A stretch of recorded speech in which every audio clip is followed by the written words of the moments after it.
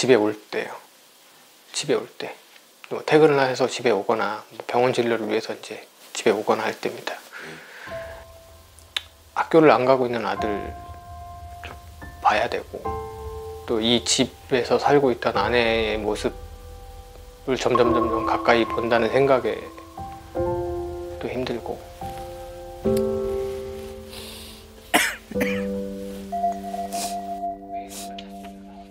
매일 엄마 찾고 있는 아, 둘째 아이한테도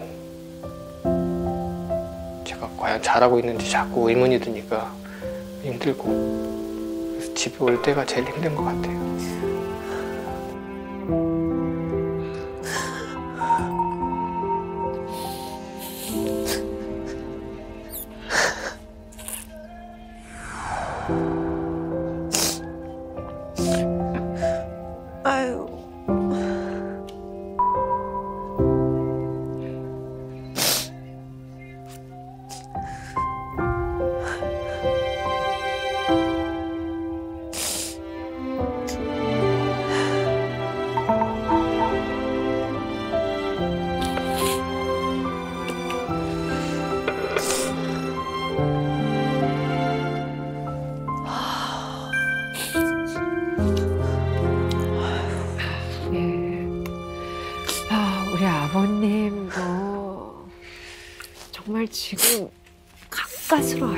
아이들 때문에 버티고 있다는 그런 생각이 드네요. 네.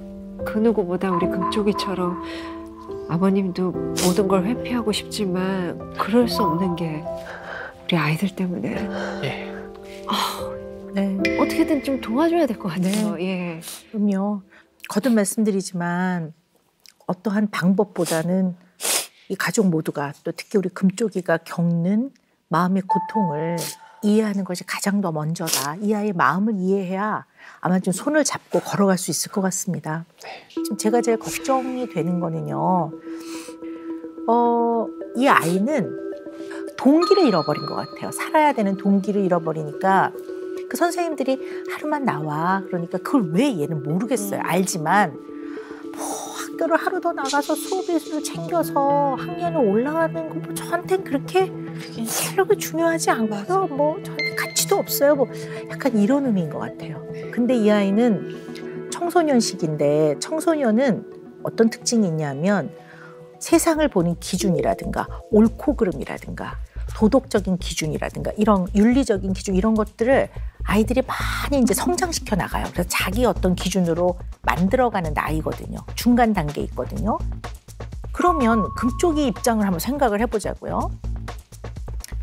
이렇게 부당한 게 어딨어요. 그러니까. 그죠? 법으로 하지 말라는 거를 해서 이 소중한 가족을 이렇게 불행하게 만들고 정말 이 세상의 유일한 아내이자 엄마인데 이분의 둘도 없는 하나밖에 없는 생명을 앗아갔어요. 이건 부당한 거예요. 말도 안 되는 거라고 생각하는 거예요. 얘는. 그러니까 저는 얘가 동기를 잃었을 것 같아요. 열심히 살면 뭐해? 뭐 그치. 그게 무슨 의미가 있어? 인생 덧없는데 저는 애가 이런 생각도 할 것. 같아요. 그럴 것 같아. 네, 맞아요. 그럴 것 같아. 그런 얘기를 좀 표현을 하나요? 네, 했었었어. 오, 어머.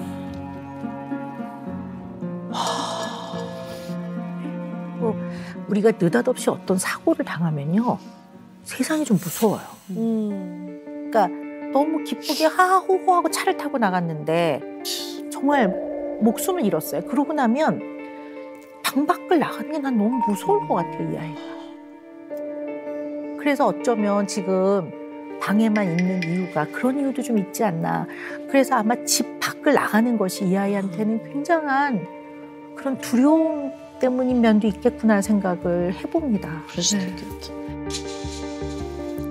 네. 예, 우리 음. 금쪽이는 어 박사님 말씀대로 지금 방문만 닫은 게 아니라 그야말로 마음의 문을 세상을 향해서 꼭 닫고 있는데 너무 궁금해요. 우리 금쪽이의 속마음은 아, 어떨지 아버님도 제일 궁금하시겠지만 이제 금쪽이 속마음을 들어볼 시간입니다. 그 어느 때보다도 궁금한 우리 금쪽의 속마음을 들어보겠습니다.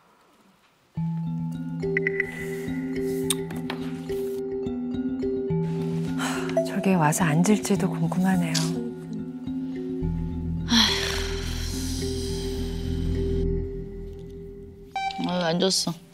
안 줬다.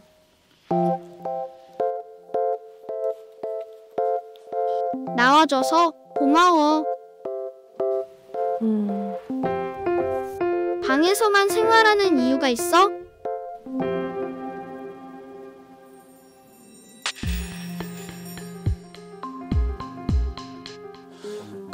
방 안이 나한테는 제일 편하기도 하고 또 이제 밖으로 나갔을 때 예상치 못한 상황이 만약에 벌어진다 하면은 그걸 대처하기가 되게 힘들거든 사실 나는. 아유 박사님 말씀하시기만. 아. 아. 그래서 그냥 방 안에 있어서 내가 항상 하던 것들? 하는 거를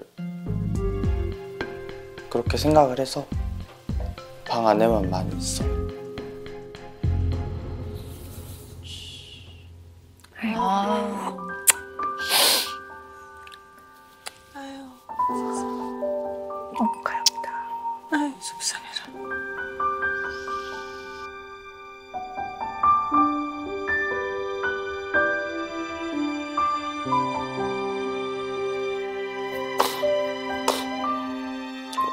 밖에 있으면 사실 주변을 많이 보게 되잖아. 그럼 약간 생각이 많이 나더라. 아 그랬구나. 혹시 생활하는 집이었으니까.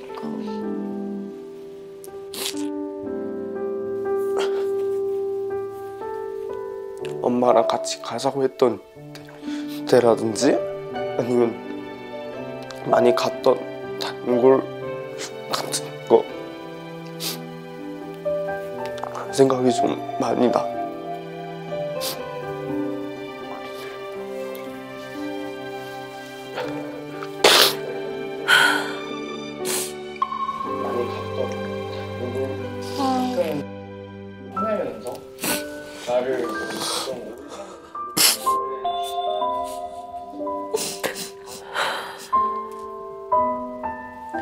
그러니까 되게 자상하기도 하고 가끔은 조금 화내면서 나를 오- 좀 올바른 길로 인도해 주시는 그런 분이었어. 그 엄마의 존재가 너무 컸어서 다른 그 존재들을 잘 안 들으려고 하는 것 같아. 어릴 때부터 엄마 말 되게 많이 들었었고 엄마랑 많이 대화했었고 하니까 하루아침에 안 계시니. 심지어 학원 같은 데도 엄마가 막 데려다 주고 병원 같은 데도 데려다 주고 했어서 좀내 엄마한테 많이 의지했던 거지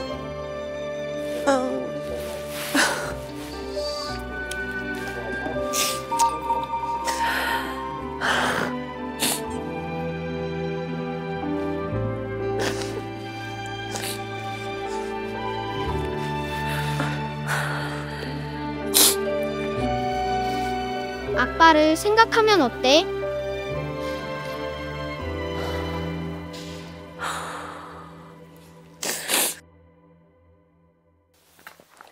아빠는 나한테 되게 잘해주시고 힘들어도 그렇게 잘해주고 계신데 저는 이렇게 아빠가 해주는 거 다 받기만 하고 아빠한테 뭐 해드린 게 없어서 죄송해요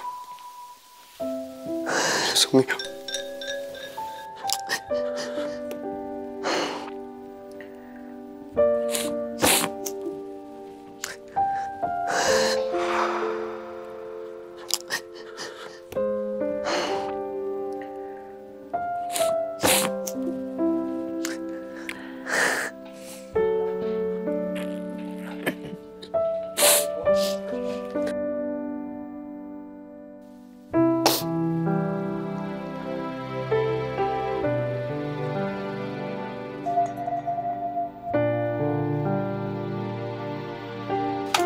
편지다.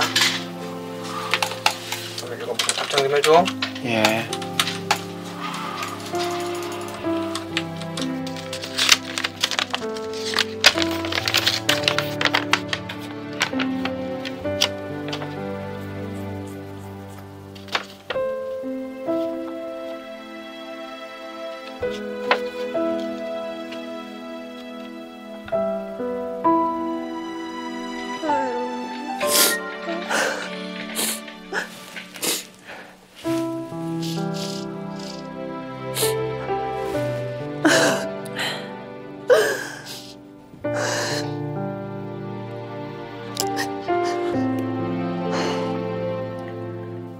이제 좀 방 안에만 있는 생활보다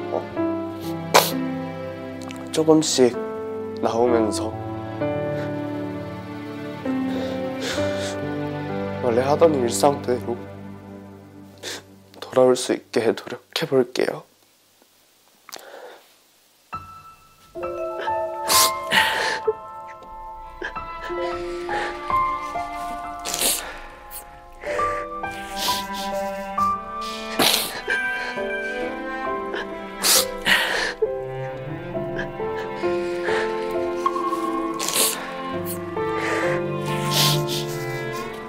금쪽이의 마음을 잘 봤습니다.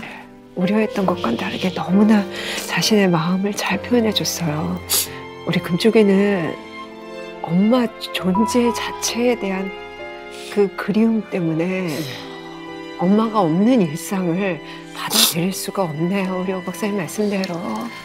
그리고 또 아빠에 대해서는 그 미안함 때문에 그것 또한 그 현실을 아예 부정하고 싶어서 그렇게 방에만 혼자 자신을 가두고 있다는 그런 생각을 해봤어요. 나태한 무기력한 그런 아이인 줄만 알았었는데 저렇게까지 힘들어하는 줄은 정말 몰랐었던 것 같아요. 네. 자, 아버님하고 우리 이 가족분들한테 너무 죄송스러운 말씀일 수도 있는데 네. 사실 그런 뉴스들을 보면서 그냥 되게 무심하게 흘렸던 것 같아요 그동안. 음. 아 그리고 그로 인해서 이렇게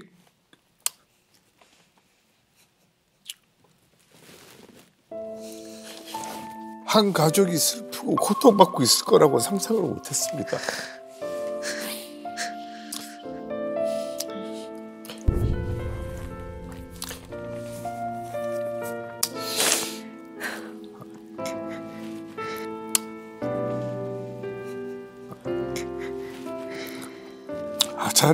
이겨내시길 바라겠습니다, 아버지. 아 죄송합니다. 우리 형돈 씨가